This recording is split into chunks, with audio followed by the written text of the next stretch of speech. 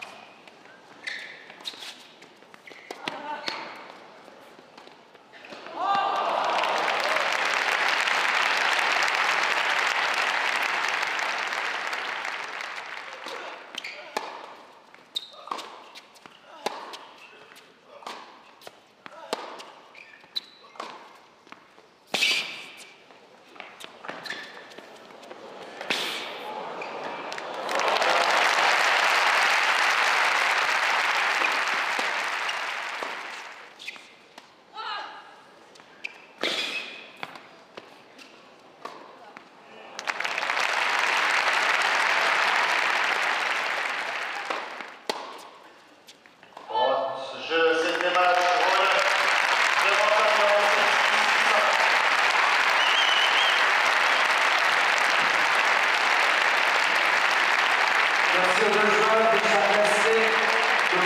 qui vous